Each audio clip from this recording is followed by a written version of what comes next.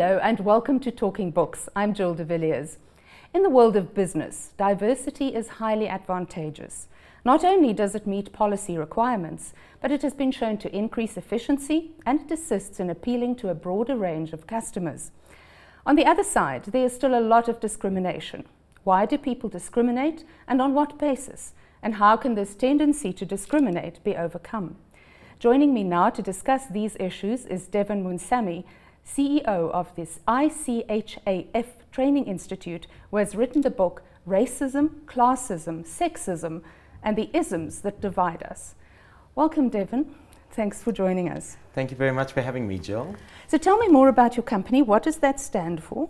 Well, the ICHAF Training Institute stands for the I Can Help Africa Training Institute. So we are a SETA accredited training provider and we go into corporate South Africa and we offer different types of training programs like learnerships and skills programs, customer service communication, and of course diversity and inclusion training. And how did this book come about? It was just not didn't come just on a whim. No, absolutely not. I wish it were. It did came about uh, on a whim, but it was a much longer process than that.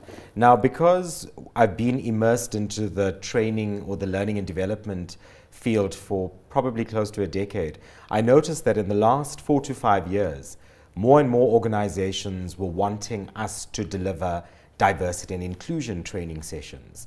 I myself was a part of many different company interventions around diversity and inclusion. And at that point already, about five years ago, I realized that there's a massive gap around literature that would guide people in corporate South Africa and the general South African around how to manage diversity strategies and different inclusive processes within organizations. So people realize that they have to di have diversity, but they don't know how to do it. Pretty much, yes. Mm -hmm. Sometimes what would happen is there's a lack of team cohesion. So people aren't necessarily integrated in the way that managers and executive teams would like them to be. And sometimes, even in more serious cases, we'll see evidence of racial tension within an organization. Those are all signs that we need a very open, transparent diversity discussion mm -hmm. to take place. But most of the time, it's more subtle prejudices that come across. Mm. Is that true? That is true. Subtle prejudices.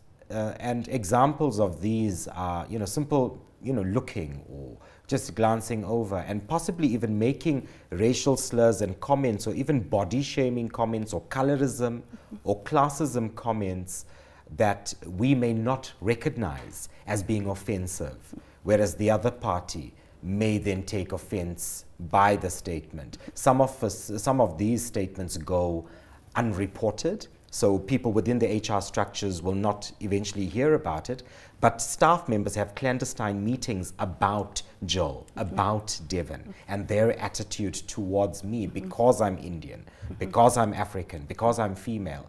And therein lies the problem, is we're not as vocal about it because we have policies and procedures, we're afraid for job losses, but we do feel the tension. So very subtle, but it can exist. Mm-hmm. So you talk about this fear of job losses. You mention an example in your book of this boss who just shouts at everyone, mm. and people are afraid to stand up to him because they're not empowered. They don't feel empowered within themselves to do it. Mm. They feel threatened. They feel if they stand up to him, they're going to lose their job. Mm. Absolutely. And this we can see, and I'm sure if people uh, watching at home, some people may reconcile with this, with this journey or the story of that individual.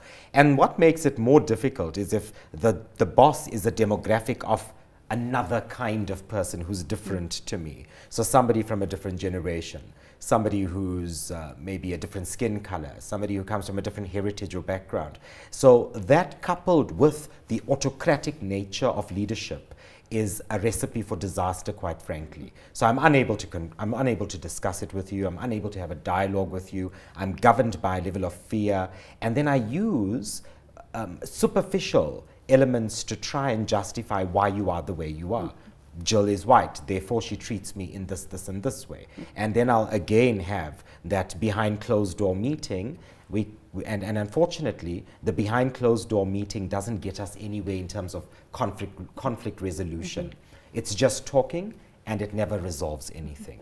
So what do you recommend to your clients? Mm. I'd recommend firstly bringing teams within the into the training room, bringing different teams within the organization, coming into the training room and having a very real, open discussion around where we at currently in terms of our diversity plan, how inclusive are we, and what is our strategy going forward. How are we going to be seen as a business unit or an environment or a team that's completely inclusive, completely transparent, and, and ultimately have a mindset that's mobilized to move forward into the new generation. Because I can almost guarantee you, if we're not having those discussions, we are going to stagnate. And that could be suicide for just about any business. So, what is one of age? Is age a big problem in, in the business place? I would say so, yes. It is a big problem. So we're now seeing Generation Z. So forget Generation Y, Generation X, they're old news. So it's already, you know, Demi-Leigh, the beautiful Miss World, I think last year, was, she's part of the Generation X, uh, the, the, the, brand, the latest generation. And we'll see now that Generation Z is now entering into the workplace. And we've still got baby boomers who are sort of exiting. And we still have Y generation and X generation people within corporate se sectors. And sometimes there's a little bit of a divide in terms of how we see each other. Mm -hmm. And there is a, a level of thinking. You must remember we're living in an era where information and technology is at, at, at the fingertips. So you can imagine the average 13 year old today how aware and enlightened they are in terms of current affairs and things generally going around them in the world versus the 13 year old from 10 years ago. And then map it even further than that, another decade before that. And then we can come close to understanding the significant differences between mindset of the child, of the, of, of the newer generation person mm -hmm. versus somebody who's been um, you know, in the corporate sector for 20, 30 years. And you say that the, the, babies of today, the Generation A, they are the ones we should really be concerned about? Absolutely. Absolutely. We're going to be seeing so much movement in change uh, in terms of, of, of um, IT and infrastructure. We're going to be seeing the globe becoming a lot smaller. The way in which I'm engaging with you now, I'm going to have to engage with somebody from France in the same way, somebody from China. The world is becoming increasingly smaller. The latest, the newer generations are those people who are really the ones connecting the world in that way. Mm -hmm. If we do not educate and guide in terms of how to be socially cohesive with people all around the world, unfortunately, you're preventing yourself from growing and possibly even sustaining big business. Mm -hmm. Now, let's, let's look at race mm. as, as, as another thing. Um, that is also uh, a problem at, mm. at, the, at work. Do you think that over the past 10 or 20 years things have changed and that we've uh, begun to see other races um, more openly? Mm -hmm. Yes, there has certainly been changes, some for the better and some for the worse. Now, people like Vicki Momberg and Penny Sparrow and the guy on the Greek island, they seemingly have done nothing for any level of racial integration. and what media tends to do is we hone in on that isolated incident, or we'll hone in, maybe not isolated, maybe others have had racial experiences like this, tense moments, but they'll hone in, and this is what we remember. And then what happens is we have these clandestine meetings at the braai amongst our friends, around fam with family members, and we go, you know, we, we knew, we know that person is probably, and this stimulates that level of discussion and dialogue. Is it a fair representation? Is racism just an African thing? Is racism just an Indian thing? Is it just a European or a white South African or an Afrikaner mm. thing? It is not. It's a global thing. Mm. So it, we cannot label it and say that it just belongs to one particular demographic, but at the moment, people are engaging. So in, in that way, where we're saying all Afrikaners are all Greeks are, based on one person's testimony from a beach on the Greek islands, or based on, on Vicki Momberg's use or, or, abuse of, of, of a terrible word. So therefore, we look at that as an example, and now more than ever, we're living in a very sensitive, sensitive environment and era within corporate South Africa, as well as at the mall, as well as on the streets of Sandton We have to be so careful about what we're saying. And those are the changes that I'm referring to mm -hmm. that are so significant at the moment. Because even I'm feeling afraid to be completely, you know, sometimes you've got to cross your T's and you, and you dot your I's in so many different ways. And people in corporate just don't know what to say anymore. Mm -hmm. So, how do we bridge that? How do we learn mm -hmm. what to do and what to say?